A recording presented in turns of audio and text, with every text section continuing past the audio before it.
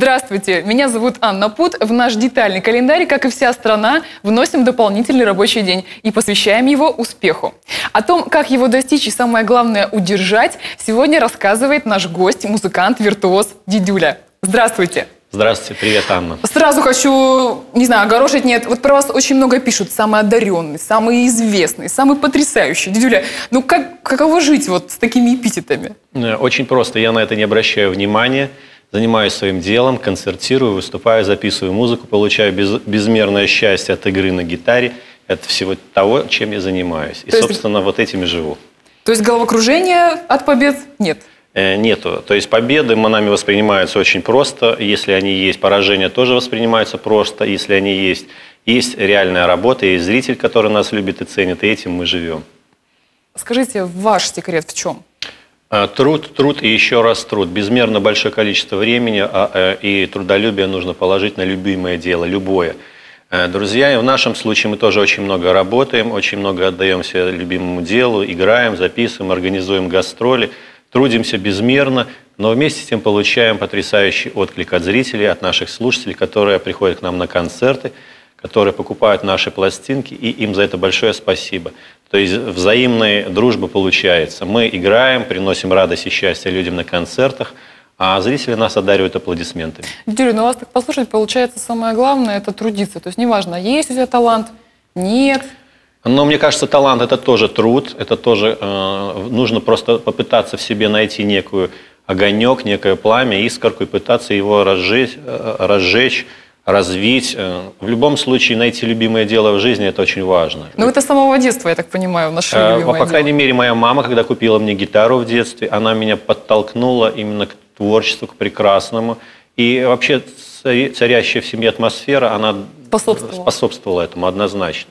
И потом потихоньку, понемножку, музыка, звук, гитара, красивый ее вид, какие-то еще, может быть, вещи, которые меня впечатляли. Все это привело к тому, что я нашел дело своей жизни. Я понял, что без музыки, без композиторства, без экспериментов, без этого творческого постоянного поиска я не смогу.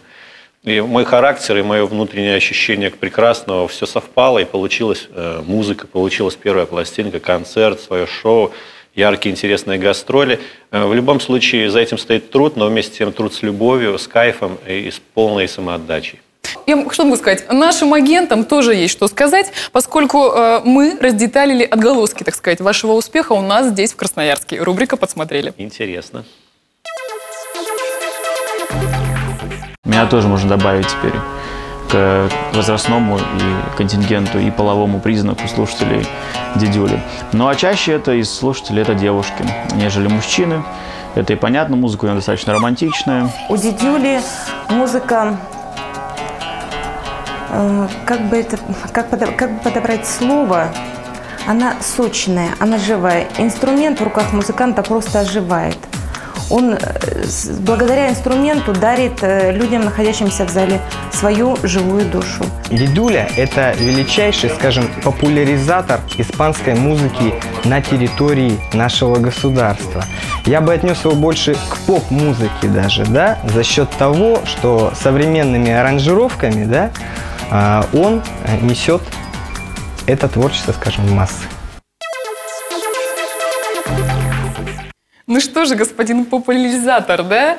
Вы для кого все-таки играете? Больше для женского пола? Для Но мужского? вообще, прежде всего, конечно, для самих себя вначале, чтобы быть неким критерием и неким цензом вообще того, что мы делаем. Потому что, когда ты выпускаешь пластинку, отпускаешь ее в мир, э, э, рождается альбом, это серьезно, это большая ответственность перед людьми. По-любому у нас есть что сказать со сцены, с пластинок своих. Так что, друзья, здесь уж так. Здесь уж так.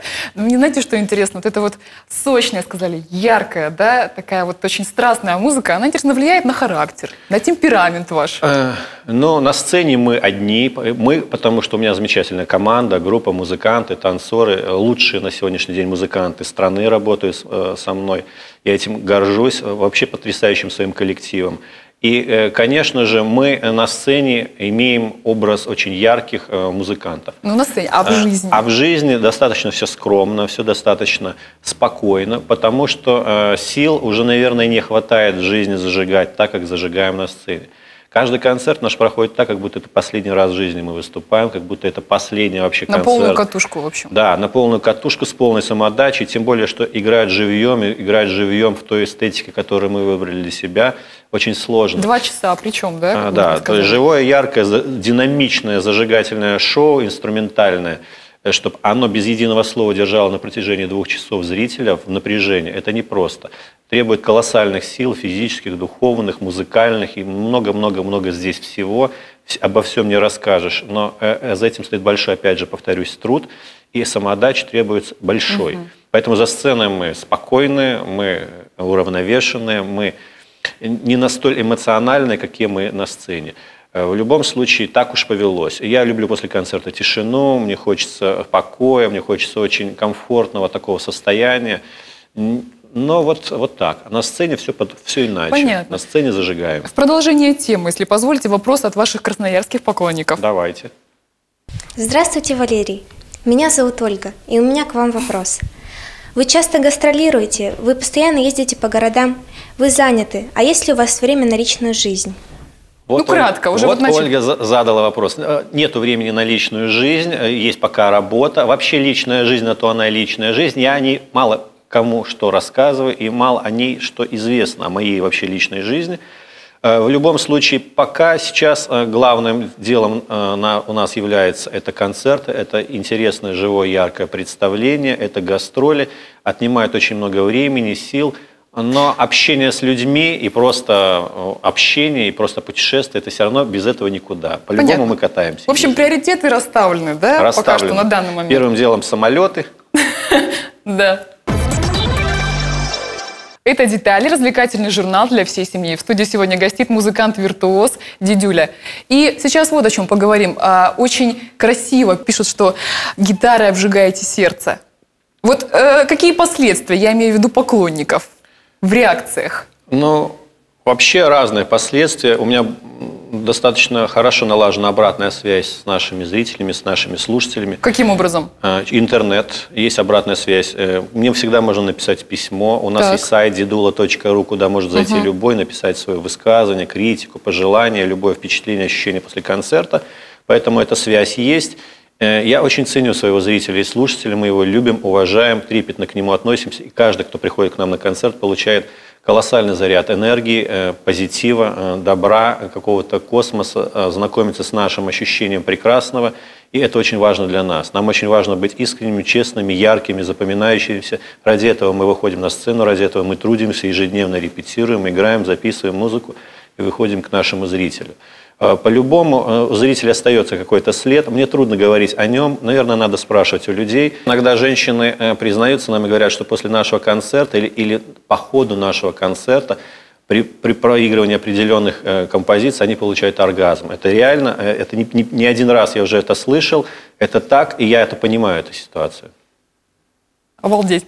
У нас есть еще один вопрос от красноярцев. Слушаем. Здравствуйте, меня зовут Андрей. Валерий, я хотел бы узнать, сколько у вас гитар Валерий. и какая из них самая любимая?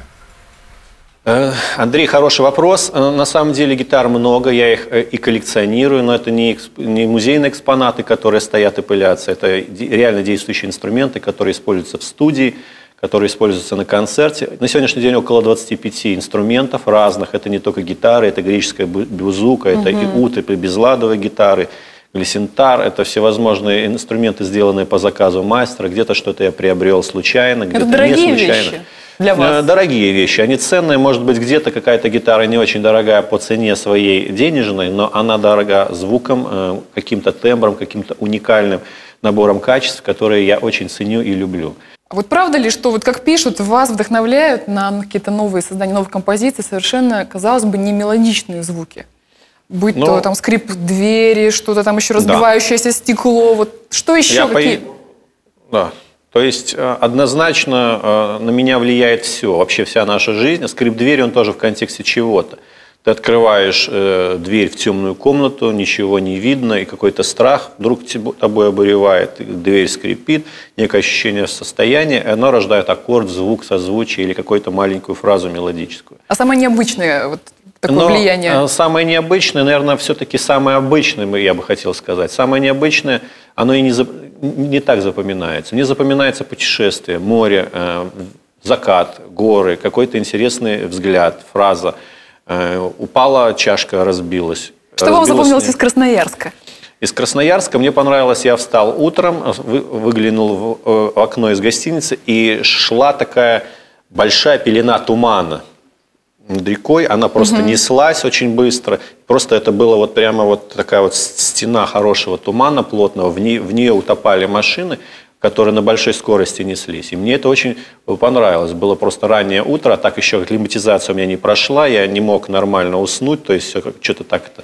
Я выглянул в окно и на ра- ранним утром увидел вот эту несущуюся стену тумана. Я такого не видел. Обычно туман, он мягко, медленно стелется, Стелется, да. а здесь такая полоса удивительно интересная. Для меня это было новое, я как ребенок завороженно на это смотрел, и это запомнилось. То Как вы есть думаете, то есть появится в не продолжении? знаю. Вот это уже второй вопрос. Может быть, появится. В любом случае, мне нужно время. Мне нужно время, чтобы переосмыслить, чтобы вернуться опять к этой ситуации, к этому мгновению.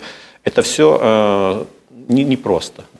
Ну, очень радостно, я хочу сказать, смотреть на такого увлеченного, успешного человека. В гостях у нас был дедюля, виртуоз, музыкант, ар- аранжировщик, композитор и, и так далее.